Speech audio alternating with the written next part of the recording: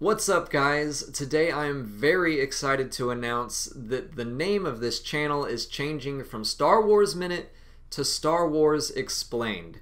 Now I'm doing this for a couple of reasons and I'm going to get into that in a second, but before I do that I want to make it very very clear that nothing else about this channel is changing.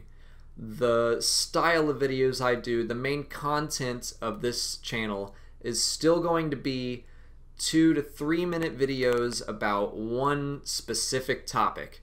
And I assume you subscribe to this channel for the information that I present and in that style and not because of the name. But you may have noticed that I have started to do longer and longer videos. Like I just did a 20 minute video covering the entirety of Star Wars Legends. Uh, reception to those videos has been very, very good, so I want to keep making them. But as I keep releasing longer videos, the minute aspect of my name just makes less and less sense. Changing to Star Wars Explained means less self imposed restrictions on myself.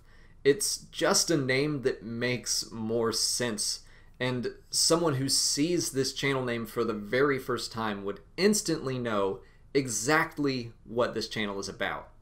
But I want to reiterate that I am not going to change the style of my videos. Uh, I'm not a very wordy person to begin with. I have no interest in making a 20 minute video about a topic that should take two. But I'll also feel more comfortable releasing a long video about a topic that I can't cover in two minutes, like the entire Legends history, something that deserves the extra time. Uh, I'll feel like I can put that on the channel and it won't be in conflict with my name at all.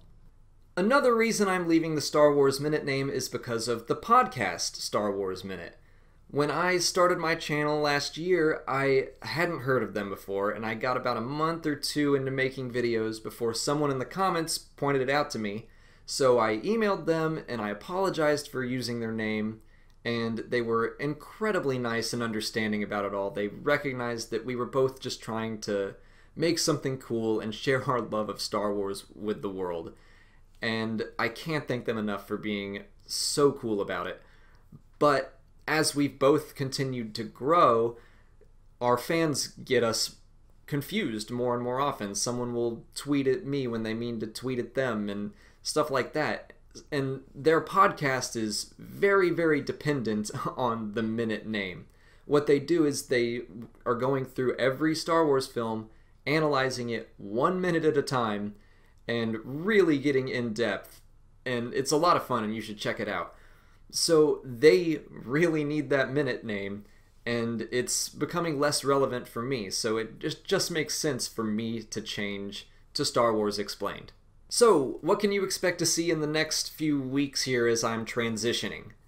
Mostly, it'll just be cosmetic changes. The name, the logo, the channel art, the intro, and the end cards. Everything else is going to be the same.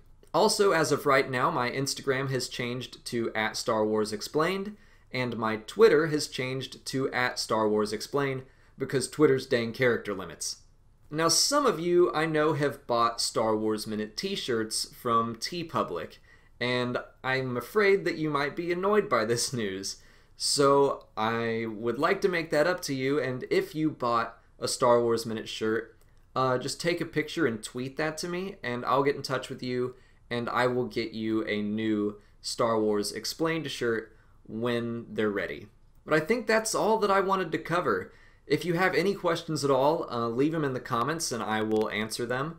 Otherwise, just thank you for continuing to be so supportive. You are the best subscribers in the world. Thank you all for watching, and may the Force be with you.